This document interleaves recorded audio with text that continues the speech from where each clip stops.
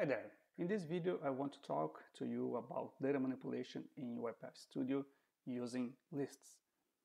So let's get started from creating a list.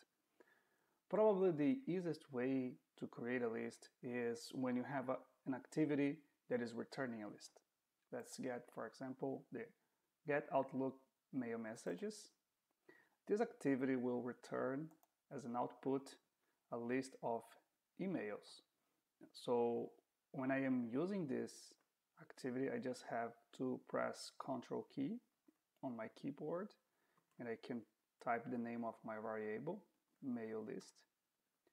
And UiPath will declare the variable that I need with the exact type of required. All right, and you can see here, it's already a list of mail messages. But very frequently, let me delete this, you will have to create your own list to use uh, on your automation. So how can you do that? I will start first creating a new sequence here called lists just to keep organized. And from here, I can declare a variable and I will name this as my list. And this is going to be a list of strings. I already have here list of strings because I already used, but if you don't see this here, this option here, you can simply search for it. And it is going to be under MS Core Lib. So we have to just scroll down right here, mscorlib, System Collections Generic Lists. Select here, and then I have to select the kind of list that I want. Okay, I could, if I wanted, declare uh, the full value for this list to initiate it because if I have to initiate my list, otherwise my process will break.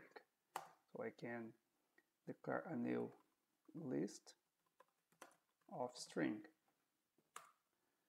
And then my variable is ready to be used. Or I could also use the assign activity. So assign new list to my list and then and I will leave as it is for now. So here I have a brand new list. There's nothing in there. Next, how can we add and remove items from our list?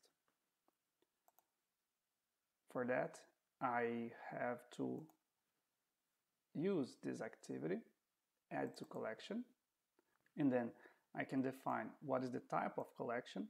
It is a list of strings what is my source? It is my list. And I will include my item 1. And I will repeat this a couple of times. My item 2 and my item 3.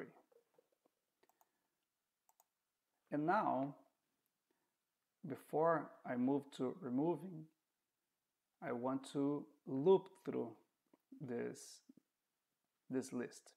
Before I talk about removing and searching, I want to include a for each here, which is an iteration.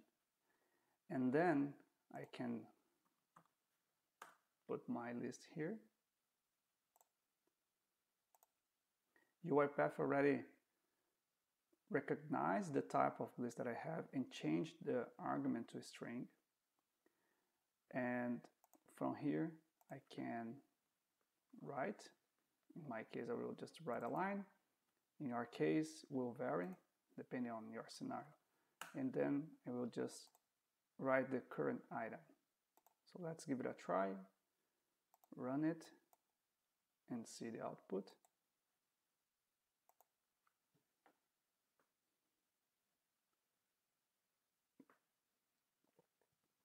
Okay, our three items were printed.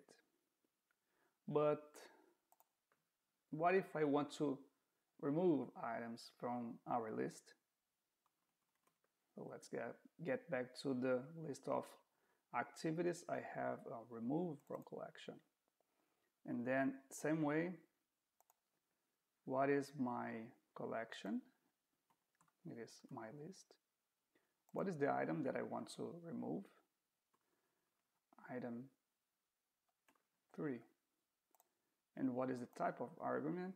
String. If I run it,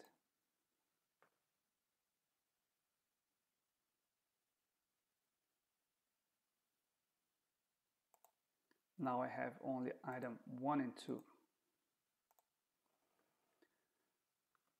Now, how can I search inside of lists? So when I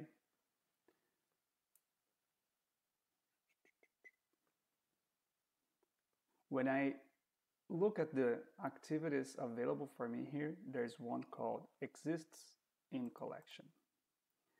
And this, uh, this activity requires an input, which is the collection, my list here, and also gives us an output.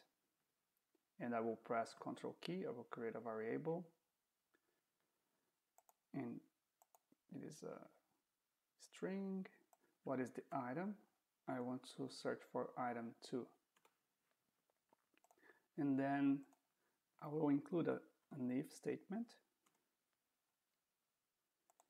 If my item exists, then I will remove that too. Remove from collection,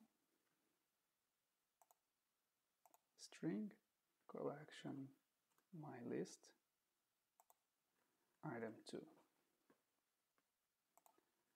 Okay, let's save it, run, now the output should be only item 1. There you go. So far we already saw how to create, how to add items to a list, how to remove them, how to search, and how to look through. But is it possible to sort? For that I will comment out this one, this, and this. That will include a new item here. A. Okay, so how can we sort? When we try to see the activities available for collections, we actually don't have a sort activity for that. But we still can do that.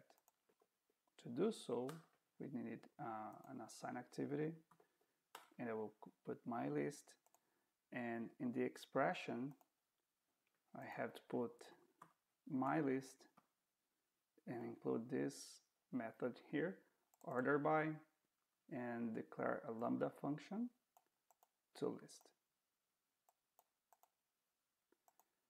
And then now the output will be A and then item 1, 2, and 3.